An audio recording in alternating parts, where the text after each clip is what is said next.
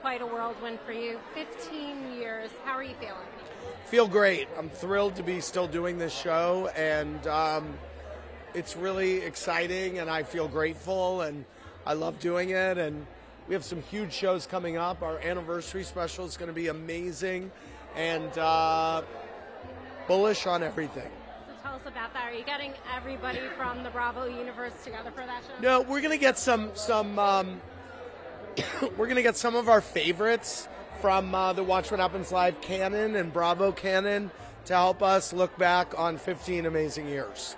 So what can we do? You need an Emmy for this. How are we going to get you to get an Emmy? How are we gonna get me to get an Emmy? I don't know. We're gonna hopefully Emmy voters will vote for us, and if they don't, hopefully y'all will just keep watching us. Well, I'm going to keep watching. You've created a magical universe.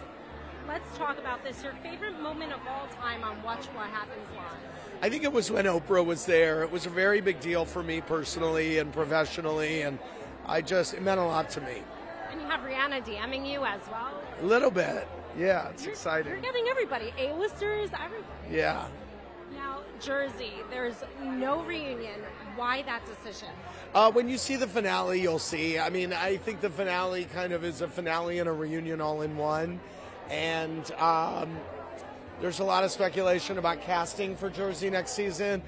No decisions have been made. We're nowhere close to making any com- any decisions. So don't believe anything you read right now. And uh, I'm thrilled. The rest of the season is great, and I'm excited for everyone to see it. So, how does the finale end? Is there truly no hope for Teresa and Melissa? Oh, none at all. Yeah, It's not that. yeah. Talking about shakeups, you're bringing Porsha back into the mix for Atlanta. What can we expect? Uh, we're in production now, so uh, you just gotta wait and see. And Vanderpump. Do you have water? It's Oh, okay. He's giving you a Rico water. Oh, thanks. Vanderpump, let's talk about that because the finale left everybody a little confused. We had some flashback moments. People are taking that as this may be the end of it. And Ariana said, you know, she won't do this if Tom's there. What are your thoughts? Listen, Vanderpump Rules, which I'm not a producer of anymore, is a big hit show, and so I don't think there's any great mystery about taking a beat and reevaluating and letting people go live their lives. So you think it was like all forced and fake this season? Because I know you guys kind of rushed production. Do I think it was forced and faked this season? No, I don't think it was forced and faked at all. I thought it was a great season, actually.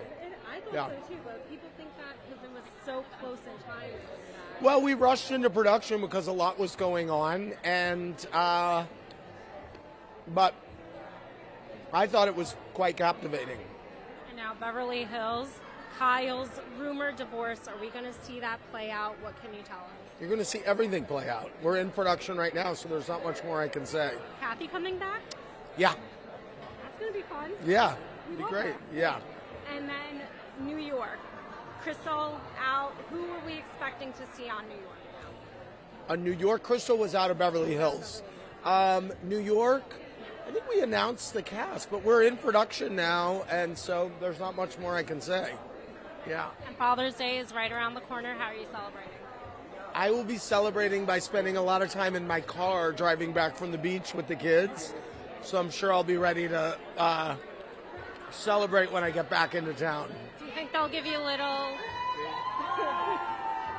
See, this Thanks. is why you do this. So sweet. So sweet. They love you. So is Ben going to make you a handmade card? Does he get you a little gift? He'll probably make me art. He's very into art. Yeah. Congratulations. Thank you so much. you again.